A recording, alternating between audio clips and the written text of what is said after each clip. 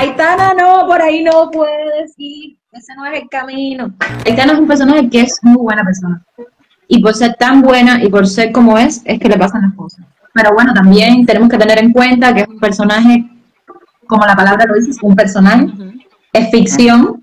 Sí que es verdad que recrea un poco la vida, pero no es la realidad, porque ya te digo, es, es ficción. Entonces la gente quizás no, porque eh, en la vida no existen personajes así, no sí, sí, hay muchas mujeres violentadas, hay muchos muchos casos que lamentablemente pasan, y siempre tenemos que ver que, como quiera que sea, es telenovela. Para, para poder hacer una telenovela hay que crear una historia. A veces uno dice, ¿y por qué no hizo esto? No lo hizo por, algo, porque en algún momento de la novela, en algún punto de la novela, lo va a hacer. Entonces yo le pido al público que no se desespere. ¿No sentía esa, esa impotencia así de las cosas que pasaba con Aitana en yo la novela?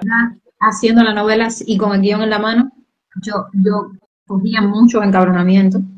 Y yo decía a veces, esto no puede ser, no puede ser, no puede ser. Yo no puedo decir esto. ¿Por qué? Me daban ganas de yo misma pero la carga dramática que yo tengo en la novela es bastante fuerte y entonces sí, terminaba con muchos dolores de cabeza, bueno, hasta el pelo se me empezó a caer del estrés y de, de tantas escenas diarias que tenía. Pero no, de todo se aprende, todo tiene un porqué en la vida. En la vida todo pasa por algo. Y si en algún momento una persona llega a, ese punto, a vivir ese momento, eh, es por algo. Y si tiene la capacidad de decir, me voy, yo aquí no aguanto, yo no voy a, yo no voy a seguir en este, en esta agonía, en este sufrimiento, y tiene la fuerza para hacerlo, se lo aplaudo. Aunque en un momento determinado de su vida no lo haga. El objetivo es ese, de no aguantar. Claro, claro y que no vuelva a pasar. Porque pasar le puede pasar a cualquiera, porque ya te digo, el ser humano es muy cambiante. Tú puedes tener una situación en tu vida muy feliz y de, momento tu vida hace así.